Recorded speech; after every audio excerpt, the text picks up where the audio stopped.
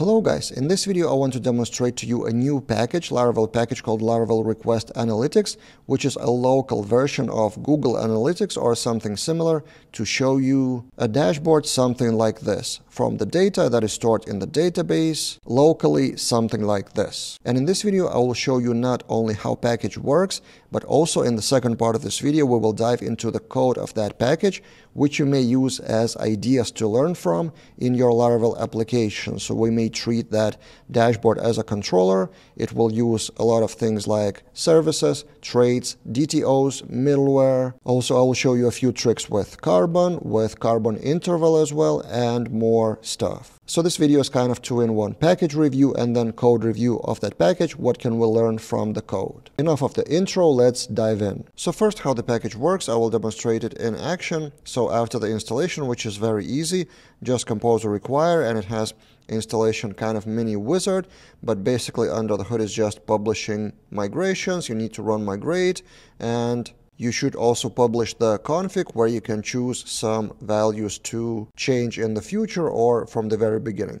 Also a few assets to publish, but that is optional. Now, when you do that, then you can go to slash analytics and see the dashboard like this. To enable the dashboard access, in the config request analytics file, you need to change the middleware web to, for example, auth or whatever you want to allow here. This dashboard page is basically all that the package offers with the chart of visitors and views per day, bounce rate, and a few more statistics options like pages, browsers, operating systems, and so on.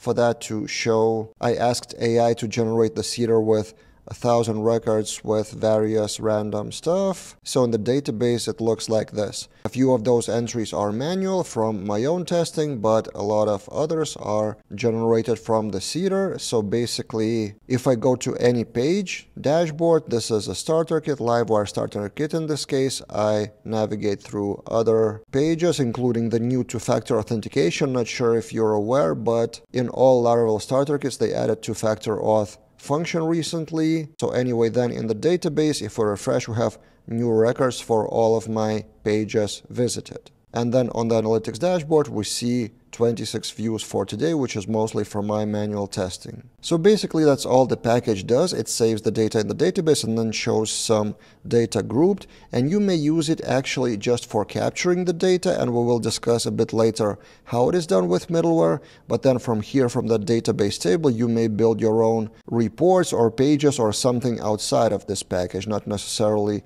on the same analytics. But also in terms of functionality, you may read the README is pretty long, so there are functions like pruning data for cleanup. Also, there's stuff like bot detection, like IP address filtering, geolocation services where you can use something like MaxMind or other third-party services with their API keys. I guess the best way to analyze the functionality is to look again at the config file so you can configure the table where to save the data, the route, the rules what to capture, web or API or bots, the middlewares, then you can enable queue and we'll talk about that in a minute when analyzing the code then some paths to ignore, and also as you can see settings for geolocation services, including API keys and license keys by external providers. So yeah, that's the package functionality. Now in the second part of this video, let's analyze the code, which we can learn from quite a lot as Laravel developers. So let's take a look inside of vendor folder, and in the vendor we have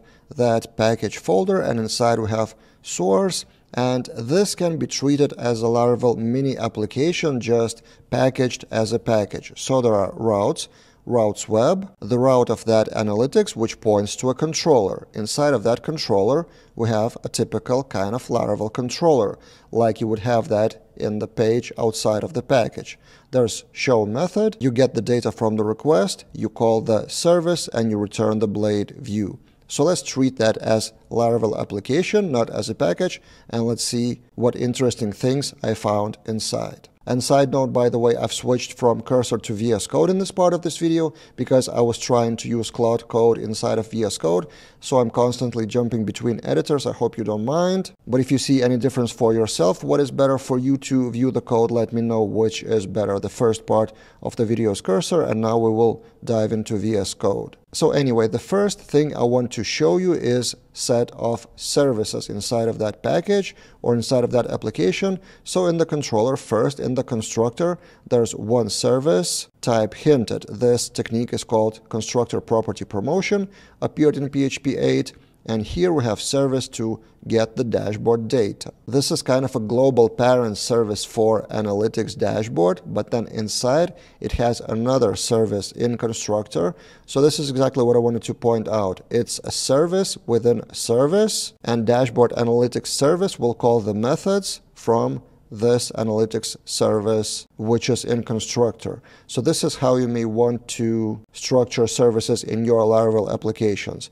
So in this main dashboard analytics service, as you can see, this analytics service, this analytics service, and other methods. And I personally like the separation of concerns in this case because here it is readable get dashboard data and from methods name I understand what they do, what is their purpose, and what is the result, and sometimes parameters. But I don't see how they do that. So that implementation is in a separate service. So it's easy to read that code. And now let's dive deeper and see what's inside of that analytics service, which is much more detailed. So in here we have public function get date range, which is called in the dashboard analytics service as the main first function. And then that date range is reused in other functions. And also similarly, query is kind of the base function, get base query from that analytics service, which should be on top here, and we'll talk about that in a minute.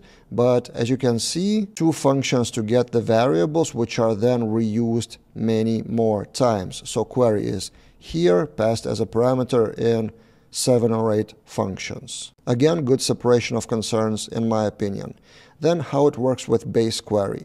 So this is a database query with Eloquent Model Request Analytics. And this is the same base query. Well, it's called base query for any kind of dashboard or widget or graph or chart. And then on top of that base query, there are conditions depending on what you want to get from that query. Browsers data, operating systems, devices, and stuff like that. So in each of those methods, for example, get summary, we have the query passed as a parameter, but then it is cloned to another variable, and then further eloquent operations are performed with that cloned variable. So this is get summary, for example. Another example is get chart data, again, clone query, and then add additional things like select, group by, order by, and others. And also not sure if you noticed that clone thing is also used not only on the query, but also on date range start.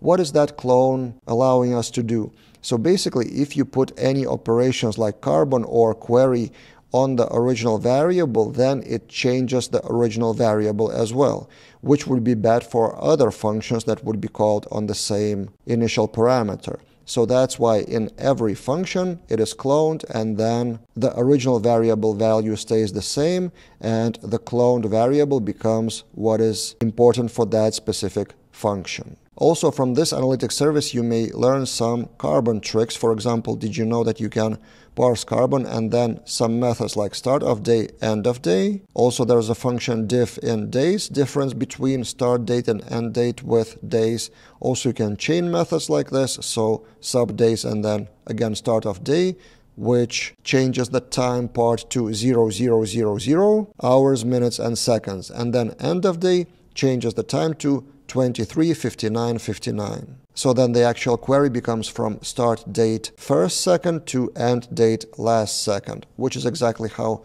daily analytics should work. Also, there's an interesting function called format time with carbon. So from seconds difference, it's transforming to a human-friendly value with carbon interval. So not sure if you're aware, there's a carbon interval class in carbon. So I want to briefly show you how it works, and I copy-pasted that code into a website, laravelplayground.com. And this is the result. For example, 1, 2, 3 seconds becomes human friendly 2 minutes and 3 seconds. If you, for example, remove cascade and execute, the result is just seconds. But now this is more human, or for example, if we comment out short true, the example result will be longer minutes and seconds and minimum unit second. If we comment that out, then it also adds minutes and seconds before now. So yeah, if you just have the time difference in seconds or minutes, you can create carbon interval and play around with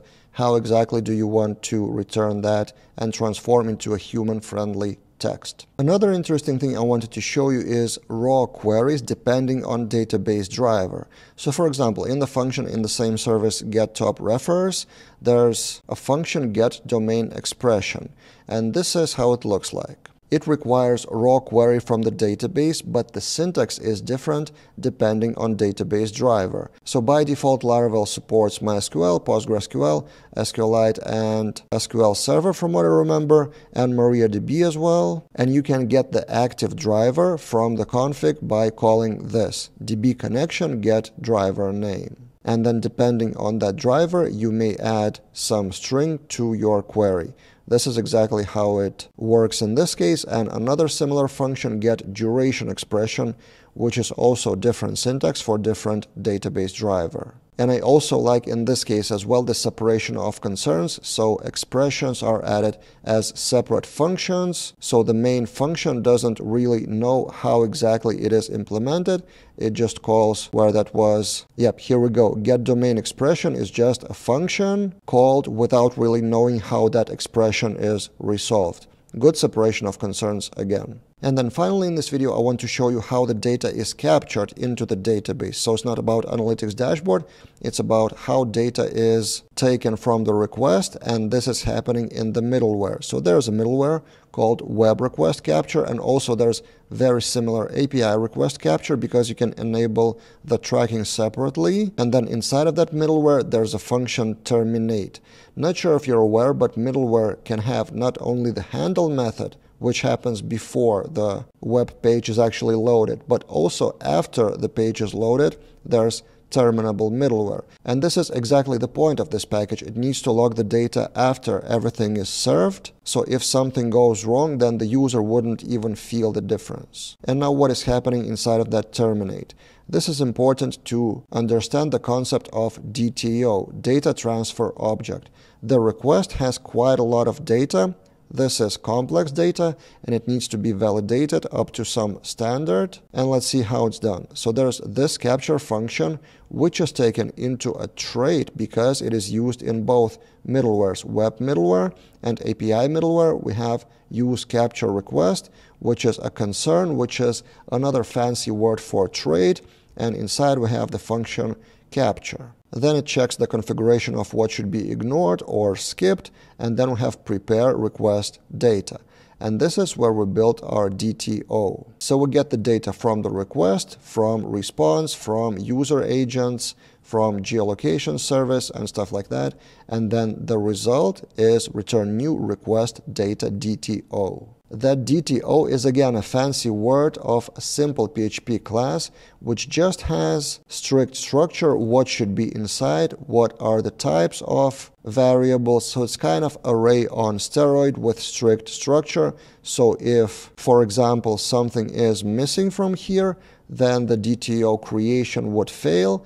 And then in the middleware, this capture is returned. And then if it's not instance of request data DTO, then something fails and try catch would throw an exception. And then the point of that DTO is that it is transferred then to later processing wherever that processing happens. In this case, it may or may not be in the queue. Process data is a job, and inside of that job, the parameter to that job is request data DTO. So everywhere that request is then processed, that strict structure ensures that the data comes and goes in that format, which is much better than passing an array or regular object or many variables. So this is the purpose of data transfer objects. If you want to know more, I have a separate tutorial on Laravel Daily about DTOs and value objects, and I will link that one in the description below so you may take a look yourself with more examples. But if we get back and dive deeper into that queued job, it passes the DTO, which then is passed to the service, request analytics service to capture the data into the database. And also another advantage of using DTOs is that you can have autocomplete with values with specific keys from that object. And then the data is saved into the database like this. So yeah, with this code review or code analysis, if you will, I wanted to show you various parts of the same package, but you can also, as I said, treat it as Laravel application, and you may use some of those ideas from that application in your projects. So let's discuss in the comments what have you learned, what would you have done differently maybe, or what topic should I dive into more deeper in the future videos. And finally, if you want to find out more useful Laravel packages on our Laravel Daily Com in resources, there's a page called Best Laravel Packages, more than 200 packages by category with links, GitHub stars, and descriptions. So you may take a look what you may use in your Laravel projects. That's it for this time and see you guys in other videos.